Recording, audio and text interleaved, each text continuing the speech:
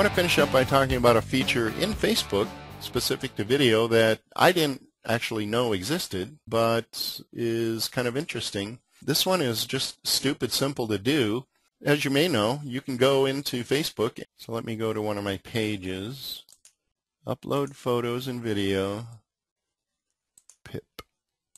Yeah, so if you post on a page, you can't do it on the personal part. But see here, right here, it says add a call to action.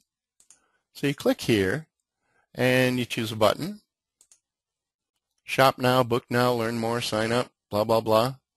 Uh, so I'm going to go ahead and put learn more.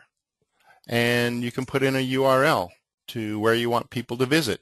In other words, when they click this button, where do they go?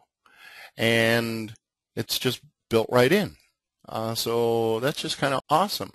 At the end of the video, that's what's going to pop up. I put in a test and this is really just a hand wiping across the screen. Uh, but I'll go ahead and play this. So at the end of the video, you can replay or click to learn more.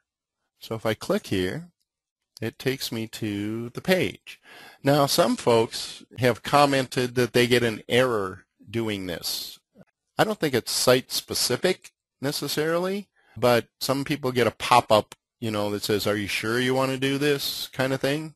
And others haven't reported that particular issue. But there you go. It's just built in. I like it. And again, this is, see, this in-video control here is kind of engaging.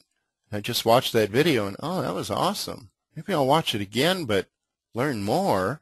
Ooh, yeah, that's what I want to do. Okay, so I don't have to go over here and over there.